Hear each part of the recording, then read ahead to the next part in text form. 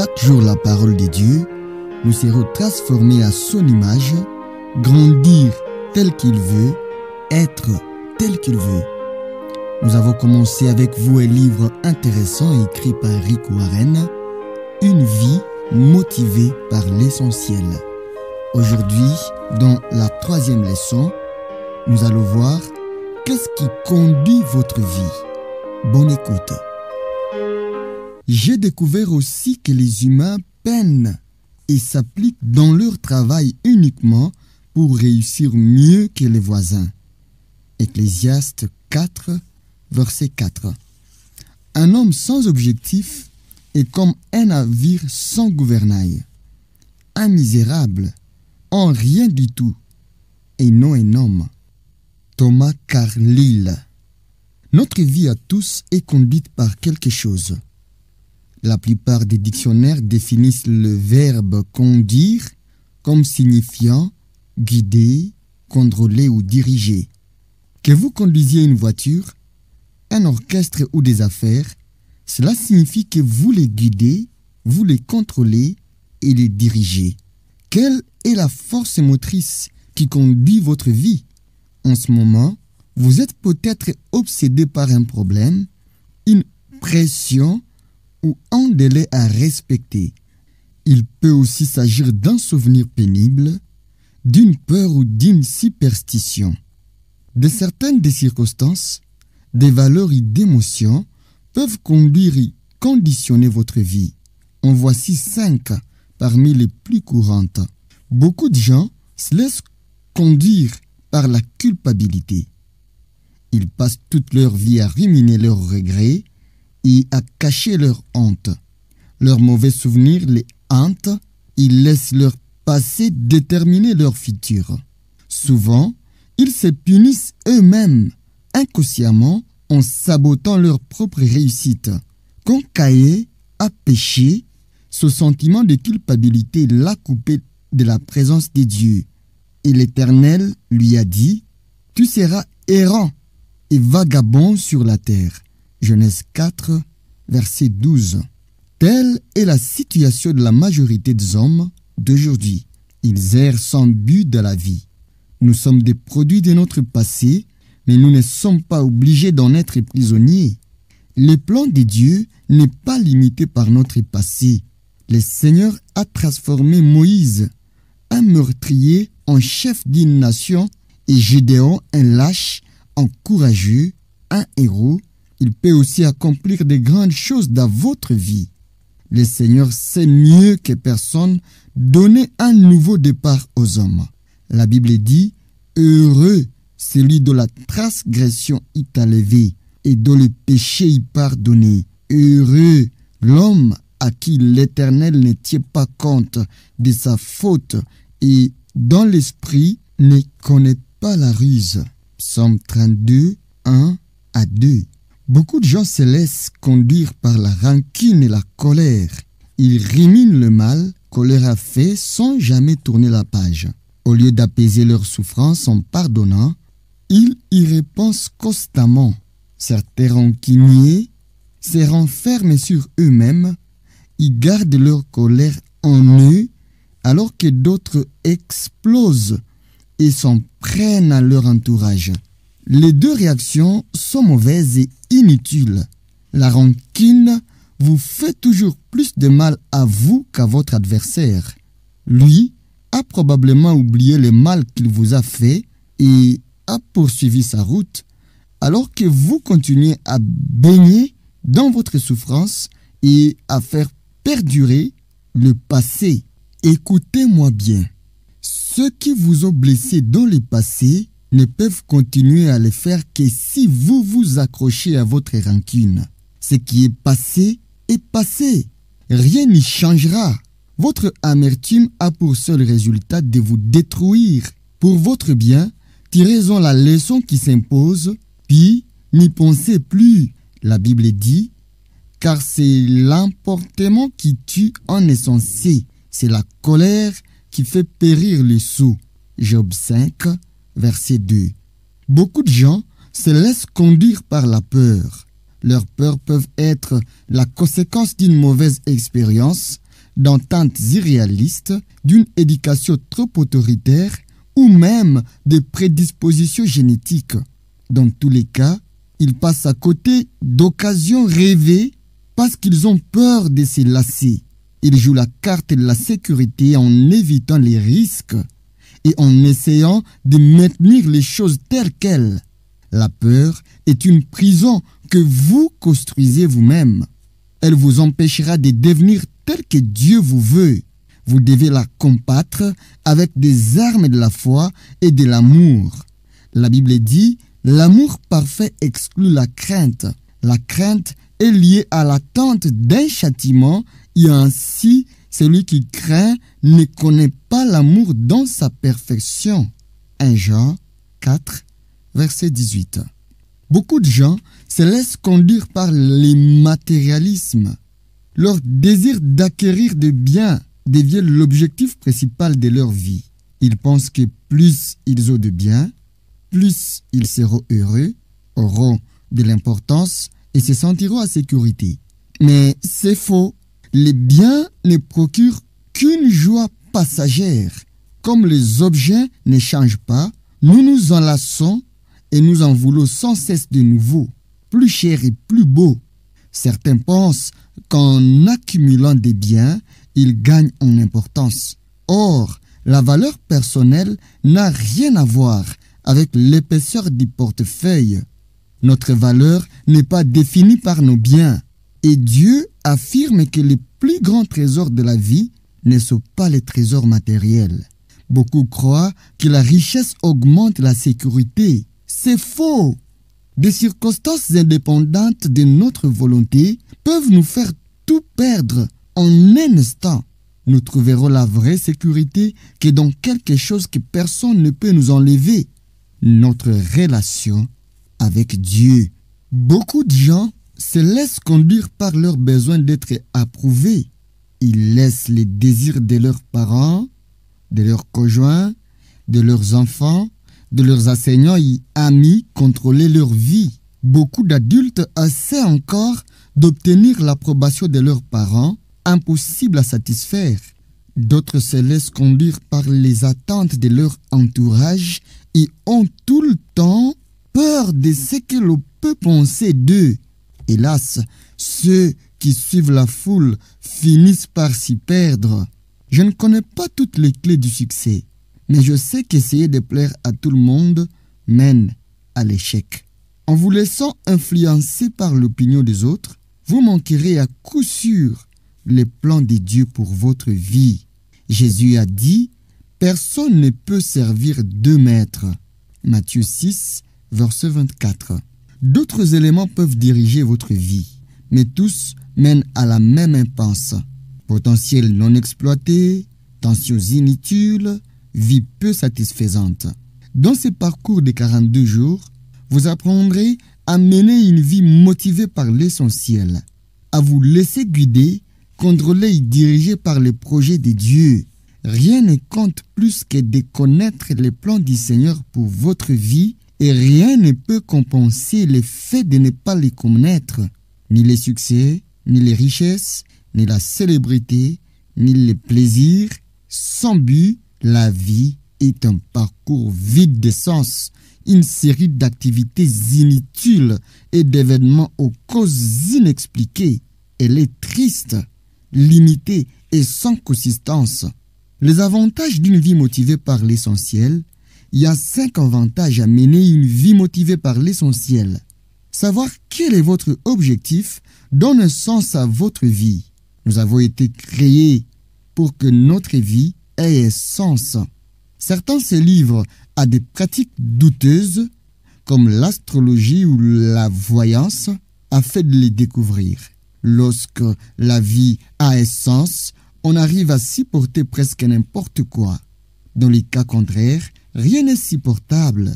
Un jeune homme d'une vingtaine d'années a écrit Je me sens misérable parce que je me bats pour devenir quelqu'un sans même savoir où cela me mène. Je me contente d'avancer sans but, mais si je découvre un jour ma raison d'être, je pourrais commencer à vivre. Sans Dieu, la vie n'a aucun sens et nous n'avons aucune raison d'être ni aucun espoir. Dans la Bible, de très nombreux hommes ont exprimé leur désespoir. Esaïe s'est plaint. Je me suis fatigué pour rien, c'est inutilement. Oui, c'est en pure perte que j'ai usé mes forces. Esaïe 49, verset 4. Job a dit, Mes jours tirent à leur fin sans qu'il y ait d'espoir. Job 7, verset 6. Et je suis plein de dégoût, je ne durerai pas toujours. Laisse-moi donc tranquille, ma vie est si fragile. Job 7, verset 16. Le plus grand drame n'est pas de mourir, mais de vivre sans but. L'espoir est aussi essentiel à notre vie que l'air et l'eau. Pour tenir bon, il nous faut avoir une raison d'espérer. Le docteur Bernie Siegel pouvait savoir lequel de ses patients atteints du entrerait en phase de rémission à l'heure des mandats. Voulez-vous vivre jusqu'à 100 ans? Ceux qui avaient une solide raison de vivre répondaient par l'affirmative et avaient beaucoup plus de chances de survivre que les autres. L'espoir vient d'une solide raison de vivre. Si vous êtes désespéré, reprenez courage. Quand vous commencerez à vivre avec un objectif, des merveilleux changements se produiront. Dieu a dit, car je connais les projets que j'ai conçus en votre faveur, déclare l'Éternel. Ce sont des projets de paix et non de malheur, afin de vous assurer un avenir plein d'espérance. Jérémie 29, verset 11. Peut-être pensez-vous vous trouver dans une situation impossible, mais la Bible dit, Dieu a le pouvoir de faire infiniment plus que ce que nous demandons ou même imaginons par la puissance qui agit en nous. Éphésiens 3, verset 20. Savoir quel est votre objectif vous simplifie la vie. Cela vous permet de définir ce que vous ferez et ne ferez pas. Votre but devient le critère dont vous vous servez pour faire la différence entre les activités essentielles et secondaires.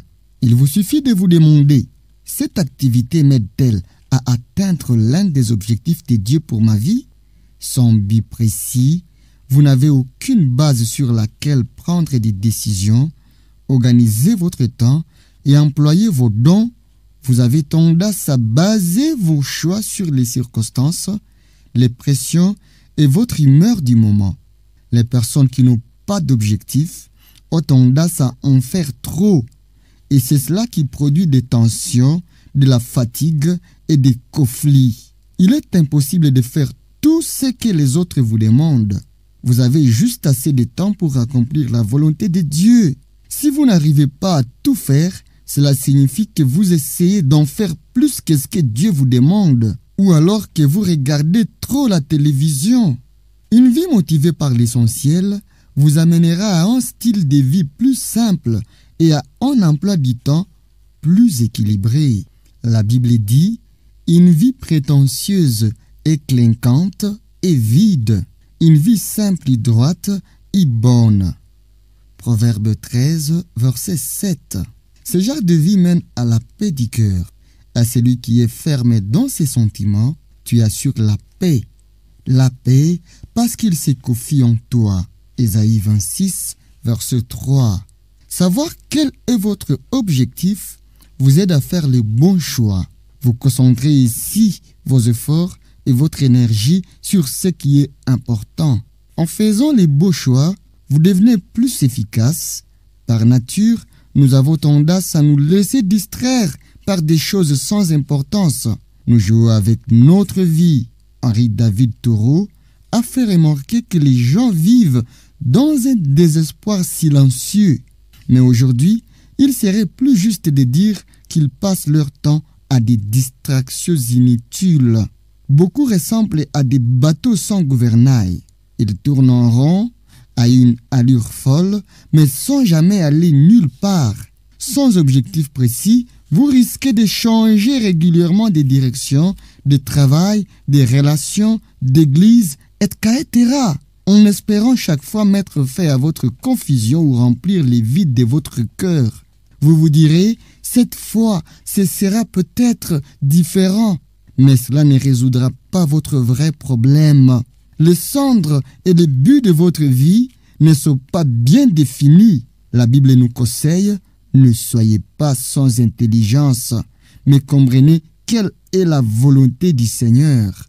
Éphésiens 5, verset 17. Le pouvoir de la concentration peut se voir dans la lumière. La lumière diffuse n'a pas beaucoup de puissance ni d'impact, mais vous pouvez concentrer son énergie en l'orientant. Avec une loupe, les rayons du soleil peuvent être concentrés de façon à mettre le feu à de l'herbe ou du papier. Concentrez encore davantage les rayons lumineux et vous obtenez un rayon laser capable de couper de l'acier. Rien n'est aussi puissant qu'une vie bien orientée avec des objectifs. Les hommes et les femmes qui ont le plus marqué l'histoire sont ceux qui étaient les plus déterminés. C'était le secret de l'apôtre Paul, et cela lui a permis de répandre le christianisme dans tout l'Empire romain. Il a expliqué, je fais une chose, oubliant ce qui est derrière moi, et tendant toute mon énergie vers ce qui est devant moi, je poursuis ma course vers le but. Philippiens 3, verset 13. Si vous voulez que votre vie ait un impact, trouvez-lui un centre. Cessez de vous disperser. N'essayez plus de tout faire. Ralentissez. Renoncez même à de bonnes activités et ne faites que ce qui est le plus important. Ne confondez jamais l'activisme et les rendements. Vous pouvez être très occupé sans but précis, mais à quoi bon? Paul a dit, nous tous qui sommes spirituellement adultes, ayons cette même préoccupation. Philippiens 3, verset 15. Savoir quel est votre objectif vous motive. Les buts que nous nous fixons nous passionnent. Un défi précis nous remplit d'énergie, tandis qu'un manque de vision nous démotive complètement. Nous n'avons même plus envie de sortir du lit. Généralement, ce n'est pas la surcharge du travail qui nous épuise, nous affaiblit et nous retire toute la joie, mais le caractère inutile d'une tâche. Georges Bernard Schwann a écrit La vraie joie de la vie, c'est de participer à une mission que vous considérez comme essentielle. Vous devenez alors une force de la nature au lieu de rester un être égoïste, amer et grognon qui se plaint que le monde ne désire pas son bonheur. Savoir quel est votre objectif vous prépare pour l'éternité. Beaucoup passent leur vie à tenter de laisser une trace durable ici-bas. Ils veulent qu'on se souvienne d'eux après leur mort.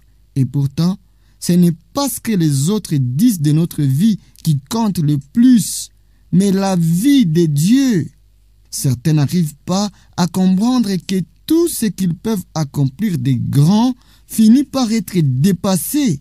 Les records sont battus, la célébrité disparaît peu à peu et les hommages s'oublient. James Dobson voulait devenir le champion de tennis de son collège. Il fut très fier le jour où le déposa son trophée bien à vue dans la vitrine de l'école. Des années plus tard, quelqu'un le lui renvoya par la poste. Il l'avait retrouvé dans une poubelle lors de la rénovation des bâtiments. James conclut, tôt ou tard, tous vos trophées seront jetés à la poubelle par quelqu'un d'autre. Vivre pour laisser une trace ici-bas est un objectif court terme. Il est beaucoup plus sage de se bâtir un héritage éternel. Vous n'avez pas été placé sur terre pour qu'on se souvienne de vous, mais vous préparez votre éternité. Un jour, vous vous trouverez devant Dieu et il fera le bilan de votre vie. Un examen final avant que vous n'entriez dans l'éternité. La Bible dit, nous comparaîtrons tous devant les tribunaux de Dieu. Ainsi, chacun de nous rendra compte à Dieu pour lui-même. Romains 4, versets 10 et 12. Comme le Seigneur veut nous voir réussir cet examen, il nous a donné les questions à l'avance.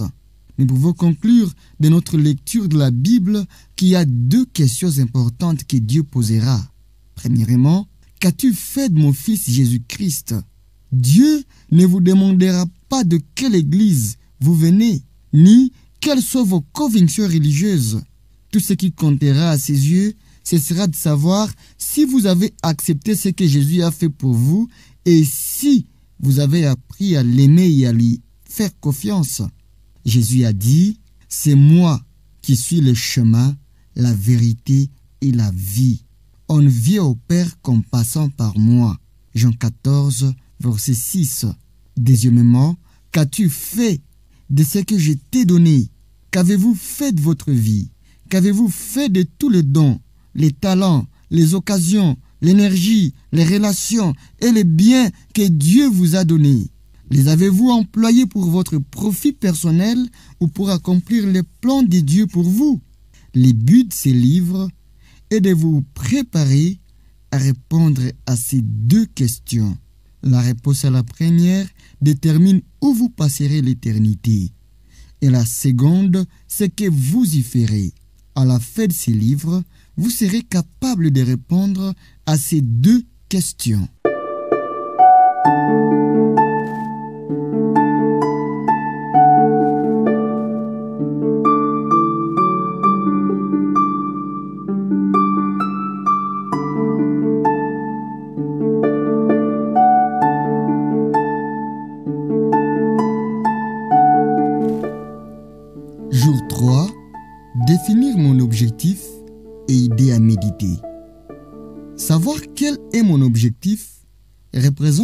Meilleur moyen d'être en paix.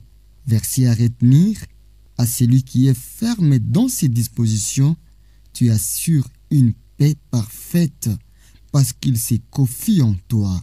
Ésaïe 26, verset 3. Question à me poser. D'après ma famille et mes amis, quel est le but prioritaire de ma vie?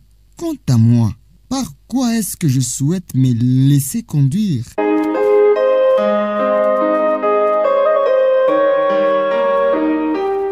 Merci d'avoir rejoint les chemins vers la maturité. Nous espérons que la lecture précédente vous a été utile. Nous sommes en train d'exploiter les livres écrits par Rick Warren, Une vie motivée par l'essentiel. Nos adresses s'affichent sur votre écran. Abonnez-vous et exprimez-vous. Grâce et paix au Fils de Dieu.